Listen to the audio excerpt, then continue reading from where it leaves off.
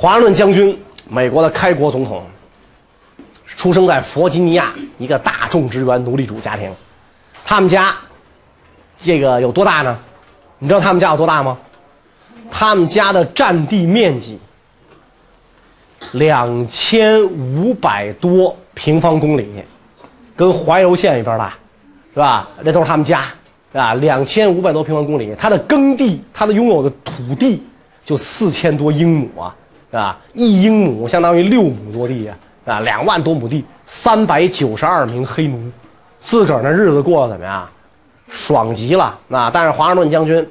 少慕荣宣啊，常贤兵略，爱打仗。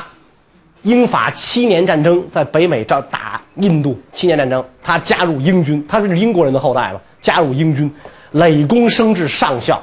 战争一结束，英国人过河拆桥，瞧不起他这种土生白人军官啊，殖民地出身的军官看不起，把他由上校降为少校。将军一怒之下，不干了，爷不干了，回到自己的庄园养鸡、喂兔子、种葡萄。开始干这个了啊！现在他的国家、他的人民、他的民族在召唤着他，只有他有过正规军服役的经历嘛，是吧？让他去打仗啊，打仗！他毅然告别了舒适的生活方式，挥剑就任大陆军总司令，领着这帮昨天还是农民、还是银匠啊、还是牧师的人奔赴战场。临走的时候，他释放了自己的全部黑奴，你们都自由了。这些黑奴自愿的留下来打理他的庄园，没有一个人离开，是吧？因为出去找不着工作嘛，对吧？哎，我我连 A 都不认得，我出去干嘛去，是吧？华盛顿将军只有一个女儿，没有儿子啊，他只有一个女儿，他的女儿后来就嫁人了嘛，啊，嫁人就不姓华盛顿了嘛，啊，就嫁人了。然后他的这个孙女婿啊，就是他女儿的女儿，他的女儿好像也只有一个女儿，就他们家没有孩子，没有男孩，他的孙女婿。就是美国南北战争时候著名的将领，南军的总司令罗伯特李，啊，罗伯特李是华盛顿将军的孙女婿，所以这个南北战争南方一失败，李将军的庄园啊就被政府没收了。那也不叫没收，因为私有财产神圣不可侵犯，是吧？政府就说你这个庄园几月几号之前必须拿着那个房本来做登记，否则的话就充公。他在南方当总司令，他不能到北方来登记吗？所以那个就充充公了。充公到现在，就是美国最著名的阿灵顿国家公墓。听说过这个这个这个公墓吗？四十万军人埋葬在这个公墓里边。阿灵顿国家公墓现在还有地儿，还能埋。只要你是为美国牺牲的军人和前军人，是吧？美国总统基本上都当过兵嘛，是吧？所以总统都可以埋在里边，是吧？你愿意提出申请就埋。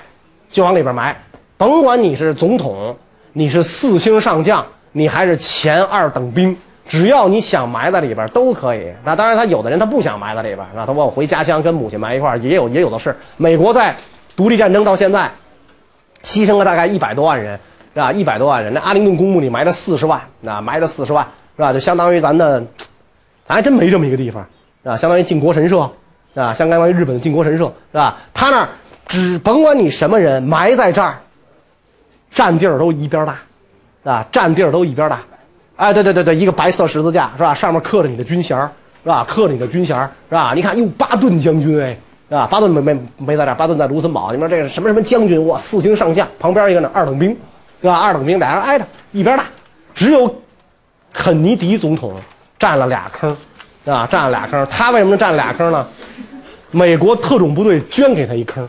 因为特种部队是肯尼迪一手创建的，所以我们感谢总统啊！我们将来少埋一人，让总统躺着吧，啊！因为别的人都是站在这个坟里边，是吧？那棺材是竖着往下搁嘛，往下搁你，那人都站着，军队都按照这个这个什么站着，是吧？总统可以躺下，那让总统累了躺着吧，是吧？只有他可以躺着，因为特种部队给你捐了一个坑，一边大，他不像咱们八宝山，初级以上才能进去啊，啊，处级搁墙上是吧？局级搁屋里是吧？部级的搁哪儿？他有规定，中国就到处体现的什么呀？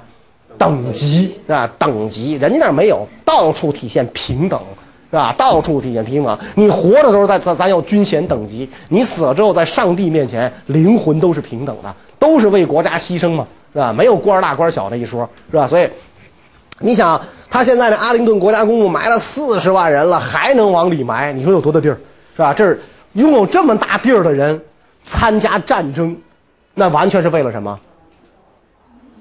呃国家民族，不是因为我日子过得不好，我偷地主俩萝卜，他打我，我参加红军了，不是这个，是吧？不是这个，是吧？我还一不留神成上将了，没这样的，是吧？我为了国家，为了民族，我要去，这个，于是发表了人类历史上最著名的独立宣言。美国人一念这个独立宣言，充满深情的 Declaration of Independence，能喷你脸啊？Declaration 是吧？of Independence，那那家伙是吧？那个那个那个那个那个自豪啊，独立了，我们美国独立了，是吧？天赋人权，什么政府压迫我们，我们就可以怎么样？推翻它啊！这是造物主赋予我们的神圣的权利，政府是为人民服务的，你压迫人民，人民就可以推翻你。那就可以推翻你，所以我们要推翻大不列颠王国对我们的统治。我们跟英王的隶属关系结束了，美利坚合众国诞生了。华盛顿将军在这个美国建立之后啊，功成身退，他没学过枪杆子里面出政权这个道理，是吧？按说他应该是建立美国的，他应该功劳怎么样？最大吗？他完全可以做这个国家的领导人啊，革命到死。啊，完全可以革命到死，是吧？然后指定接班人，但是他没这么干，他不但没明白枪杆子里面出政权这个道理，相反，他把能够获得政权的枪杆子交出去了。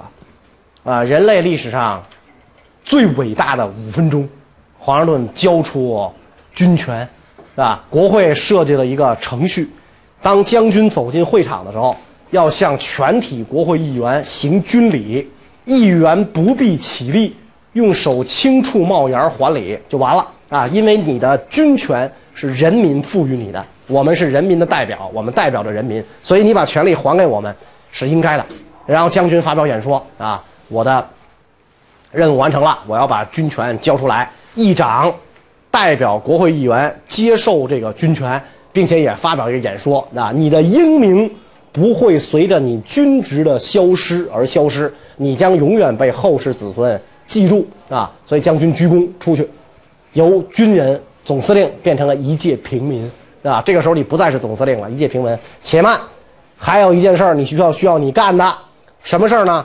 解散大陆军，啊，打完仗了，军队怎么样？不需要了。美国军队由三万裁到了八十，是吧？这八十人用来看守财政部的金库。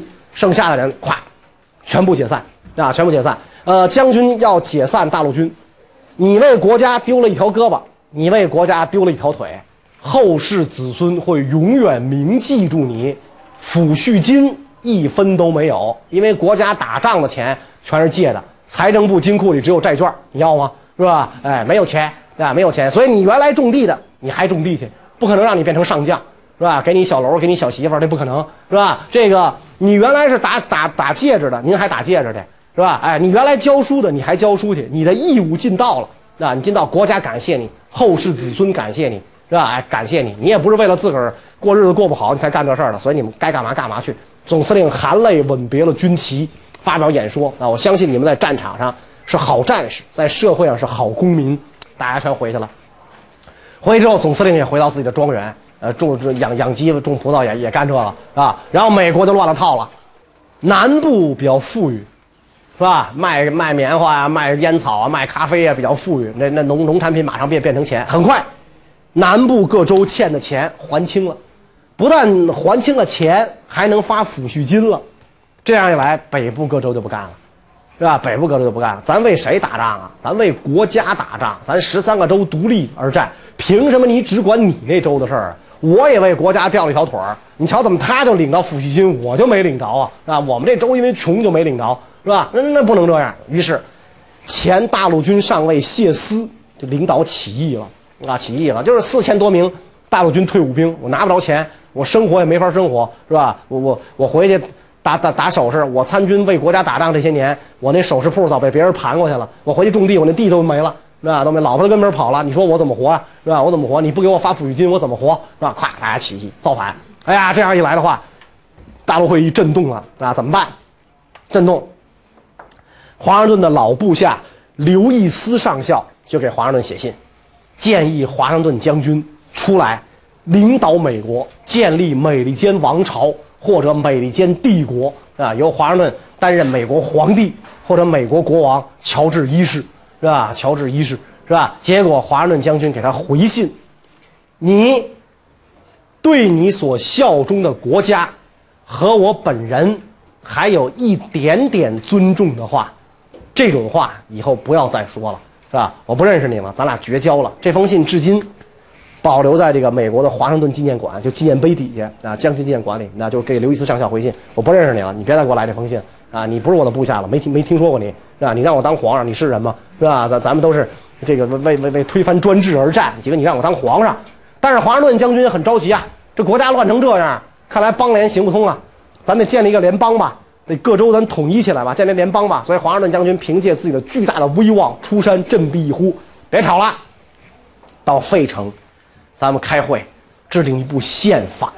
于是，在费城的独立厅，各州代表跟这儿开会，吵了五个多月。将军绝大多数时间在会上一言不发，就听着各州代表跟那吵。五个多月，吵了五个多月，制定出这部宪法。这部宪法完全是各州之间妥协的产物，谈判就是互相什么呀？妥协嘛，你漫天要价，我着地还钱。你不妥协，这事儿就怎么样？就干不了了，是吧？我们老说在谈判桌上要据理力争，绝不能向敌人妥协，那就打呗，不妥协，对吧？你不妥协，甭干了呗。那那不妥协，你谈什么劲啊？你你坐谈判桌上干嘛呀？坐谈判桌上就是互相来干嘛来了？妥协来了嘛？那说不好听就是讨价还价来了嘛，是吧？所以，美国通过了1787年宪法。